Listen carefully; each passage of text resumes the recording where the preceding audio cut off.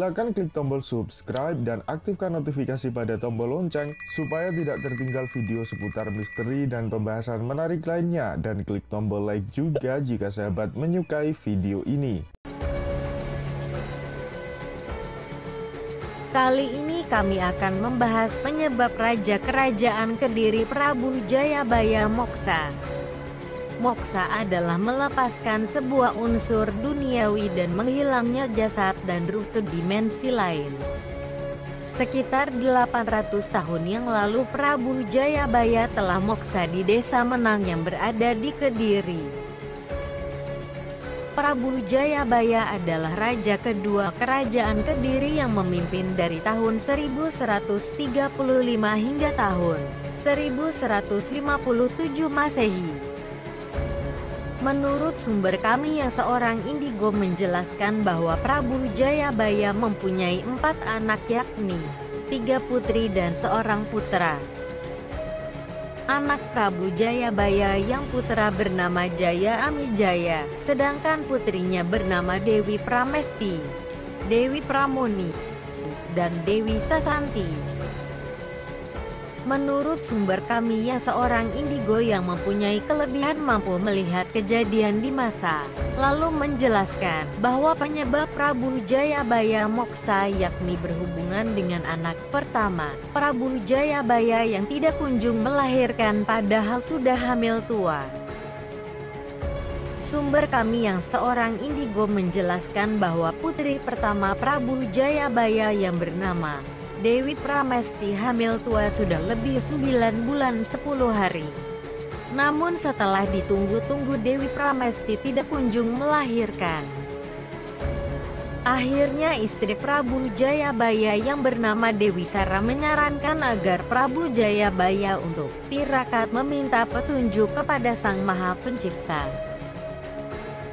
Setelah itu Prabu Jayabaya mendapatkan wisik atau petunjuk untuk melepaskan semua yang dititipkan kepada Prabu Jayabaya di dunia dan moksa. Prabu Jayabaya adalah seorang raja yang waskito oleh karena itu Prabu Jayabaya ikhlas melepaskan jabatannya sebagai seorang raja dan semua unsur duniawi yang Prabu Jayabaya punyai. Setelah itu Prabu Jayabaya melepaskan baju kebesarannya sebagai Raja Kediri dan mahkotanya. Hal tersebut dilakukan karena dalam petunjuknya Prabu Jayabaya harus moksa agar kelak jabatan.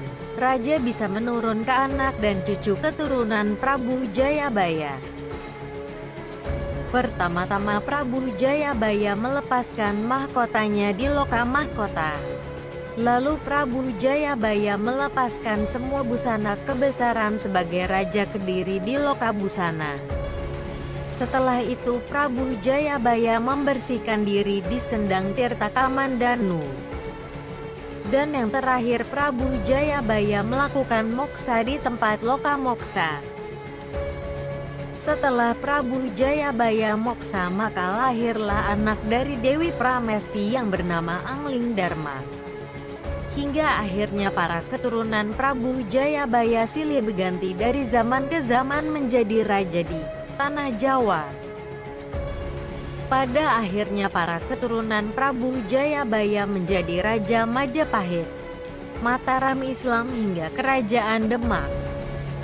Menurut sumber kami yang mengetahui banyak tentang dunia spiritual menjelaskan bahwa Prabu Jayabaya saat menerawang kondisi Nusantara di masa depan bukan menggunakan bantuan jin, namun Prabu Jayabaya menggunakan alat bantu batu mustika yang berada di mahkota dan sabuk yang dipakai Prabu Jayabaya.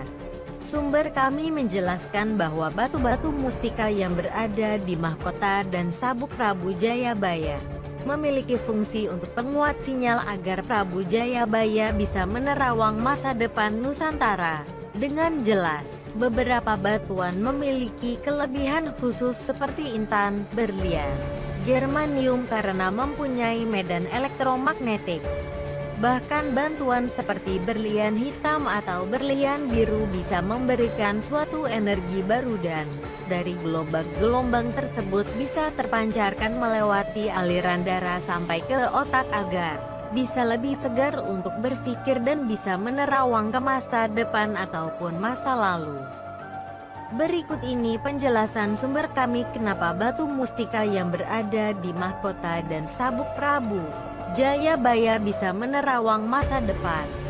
Batu mustika yang dimiliki Prabu Jayabaya bukanlah batu biasa lantaran ada beberapa sinyal yang bisa dipancarkan karena batu mustika Prabu Jayabaya memiliki gelombang elektromagnetik. Dalam batu mustika tersebut ada proton dan ada elektron yang kemudian bantuan itu akan mengeluarkan vibrasi atau getaran.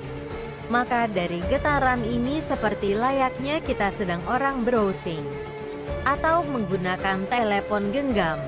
Dari batu-batu itu lantas energi ini menyebar dan memperkuat sinyal yang ada di otak jadi. Digunakan untuk menerawangan masa lalu ataupun masa depan karena menggunakan alam bawah sadar setelah itu menggunakan bioenergi dan medan elektromagnetik sehingga menjadi residual yang dapat melihat kejadian di masa depan atau masa lalu. Energi alam semesta ini bisa diputar ke depan dan bisa diputar ke belakang dan bisa mengirim melewati gelombang yang memancar di udara.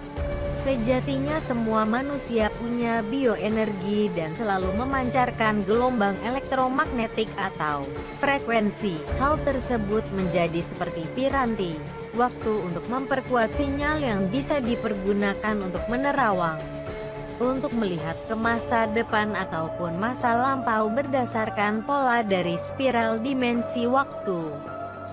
Pesan kami jangan anggap semua orang indigo dengan stigma negatif karena memang ada orang yang mempunyai gen dan DNA unggul yang diberikan kelebihan tidak selayaknya manusia biasa. Terima kasih telah menyimak sampai selesai. Kalau ada yang keliru kami memohon maaf.